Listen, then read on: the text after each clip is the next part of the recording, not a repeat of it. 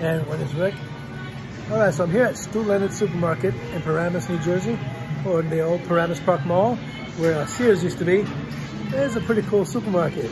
As you can tell, it's got a lot of little entertaining features for kids, so you can certainly bring the family here. They got a little bit of everything. Um, it's a supermarket, so what do you expect? It's a cross between a Whole Foods and a Trader Joe's. I mean, I'd like to think of it that way. However, it's a lot more uh, modernized, has a lot more, or, or well, it's just fun, for God's sakes. They got cows, for God's sakes. Look, they got cows behind me.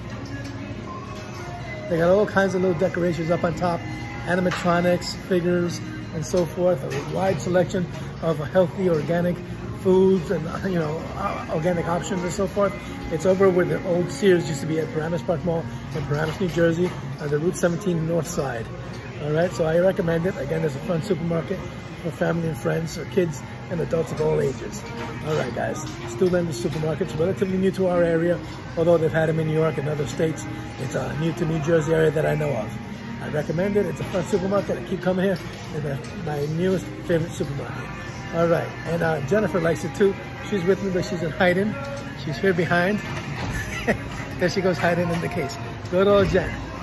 Hold on, let me get a picture of these guys behind me.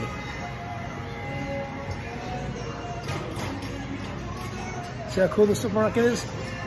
I mean, who doesn't like shopping with kids? And now you can see all these little animals that they got here, little monkeys flipping around. It's a cool supermarket. Excuse me. Alrighty. So I recommend it to everyone. Stew Leonard's in Paramus, New Jersey at the Paramus Park Mall. All right, guys, have a good night. Enjoy your weekend. And uh, if you are on your bikes, ride safely. Remember to look out for the pedestrians and the drivers alike. Take care. From uh, Bike Lane Propaganda, this is Rick.